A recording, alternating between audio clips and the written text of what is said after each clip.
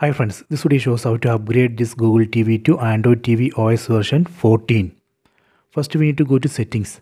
Select all settings from top right corner. Then go down, go to system, go to about. Under about you can see the current Android TV OS version. It says 12. I am going to upgrade this to 14. Let me check. Under about select system update. Now it's checking for update. It says system update ready. It's already downloaded that update and verified. Size of the update is 809 MB. It says this software update includes upgrade Android TV OS version from 12 to 14. Here we just need to select restart now. That way we can install this update into this TV and upgrade from Android TV OS version 12 to 14. So you can try this.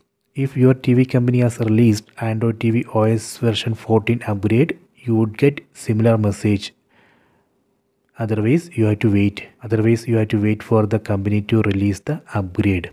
This way you can check for Android TV OS version 14 upgrade and install it.